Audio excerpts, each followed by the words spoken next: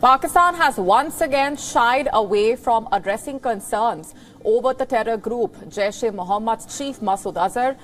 The country's foreign minister Bilawal Bhutto, while speaking to WION, dodged a question on the Taliban dismissing claims of Azhar's presence in Afghanistan. Listen in. Uh, so in less than a month, uh, the FATF is meeting and it is set to take place. How will you convince the body at a time when the Taliban have rejected, literally rejected Pakistan's claim of Masood Azhar's presence?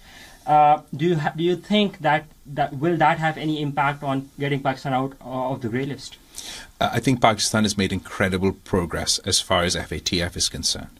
And we're moving in a positive direction uh, to, inshallah ta'ala, as we say, uh, enter into the uh, whitelist. As far as our commitment to combating terrorism, that has nothing to do with FATF. That has nothing to do with whatever the people in charge of Afghanistan uh, are saying today. We are committed for our own survival.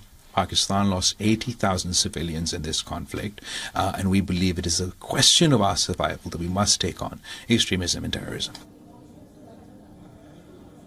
Let us now understand why the Pakistan foreign minister ducked WION's question on Masood Azhar. There is a blame game going on between Pakistan and Taliban on the Jaish-e-Mohammed chief's whereabouts. Earlier this month, Islamabad, in a letter, asked Kabul to locate, report and arrest Azhar. According to Pakistani media reports, the letter said that Azhar could most likely be hiding in the Nangarhar or Kunar province of Afghanistan. Pakistan had also written to Afghanistan in January this year seeking Masood Azhar's arrest. The Taliban outrightly dismissed Pakistan's claims and called on Pakistan to refrain from such allegations that lack any proof and documentation. They also warned that such allegations could affect bilateral ties.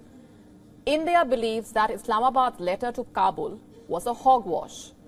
The Indian intelligence agency is saying Masood Azhar is believed to be living in an inter-services intelligence safe house in Pakistan's Bahawalpur. Masood Azhar is the founder and leader of Pakistan-based terror organization Jaish-e-Mohammed and a United Nations designated terrorist. He is also on India's most wanted list. He is the mastermind of the 2016 Pathankot attack on the Indian airbase and also the 2019 Pulwama attack that claimed the lives of 44 Indian soldiers.